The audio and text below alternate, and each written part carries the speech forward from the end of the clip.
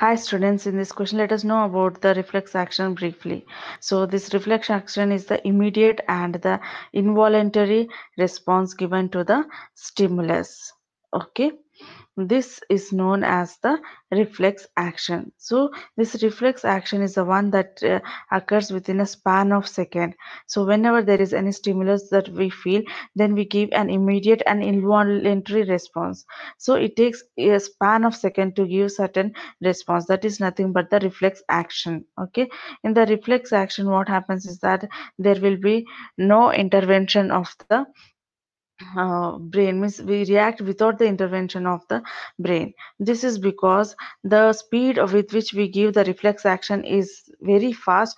That happens before the brain gives the signal. So it takes very few seconds to give the reflex action.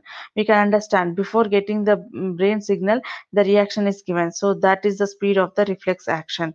And it is automatic and as well as the immediate quick response.